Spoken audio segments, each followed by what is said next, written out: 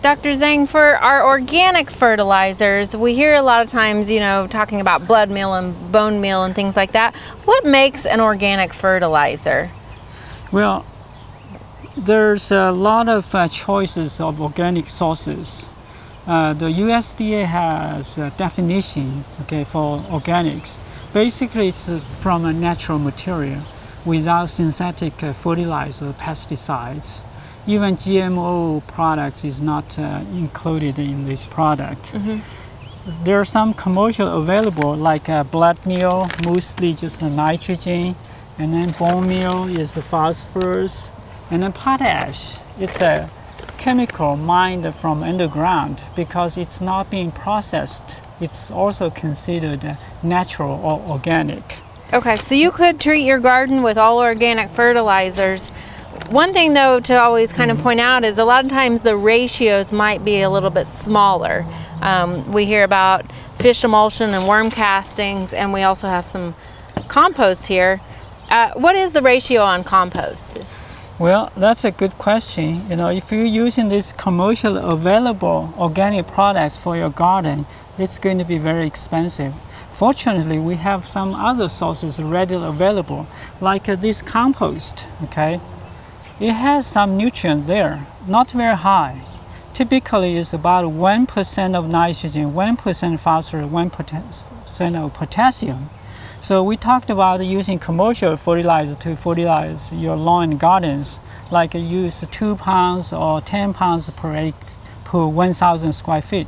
For this one, you need about uh, 200 pounds per 1,000 square feet, which is about five tons per acre. Mm-hmm. Okay.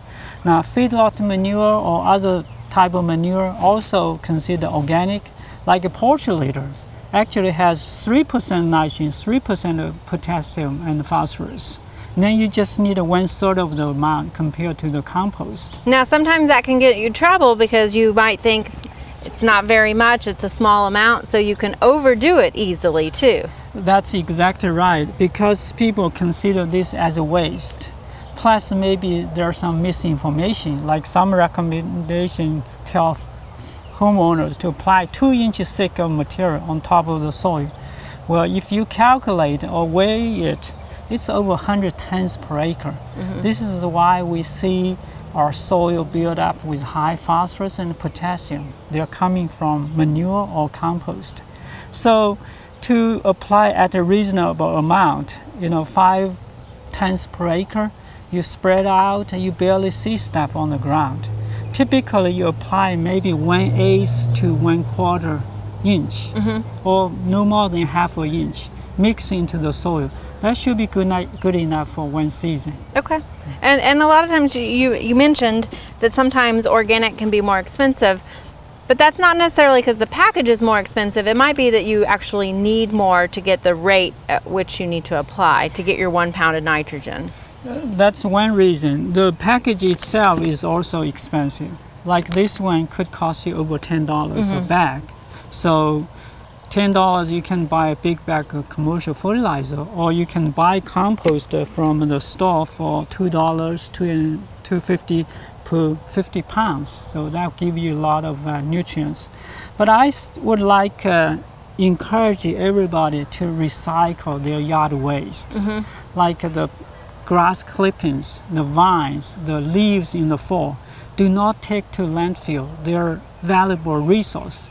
We can directly bury into the soil or make a compost, produce organic fertilizer yourself.